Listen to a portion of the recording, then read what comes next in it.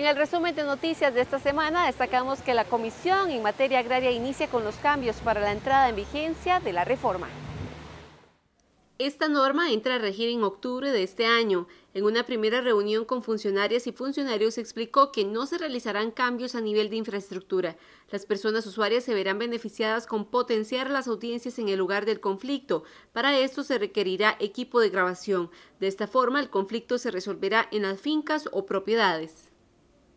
Las audiencias en los asuntos agrarios, cuando son disputas que implican... Eh, la, participa la, afectación a algún predio, entonces los jueces agrarios y toda la, defensa, de cada una de las partes, los directores y las partes y los testigos se reciben en el lugar donde ocurre el problema.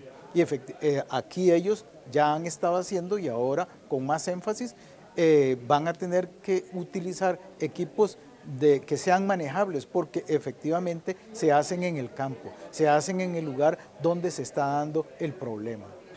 El 2018 fue el año en que más casos ingresaron a la sala constitucional.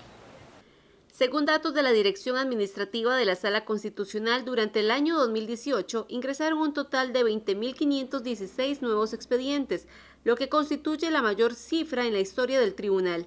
Asimismo, durante ese año se emitieron 19.960 sentencias de fondo, número que también se convierte en el más alto desde 1989, sin tomar en cuenta las resoluciones interlocutorias. Cabe mencionar que desde su creación la sala ha mostrado un crecimiento en el número de expedientes que ingresan año con año, convirtiéndolo en el Tribunal Constitucional con el mayor circulante a nivel mundial. Hasta la próxima semana con más noticias del quehacer judicial.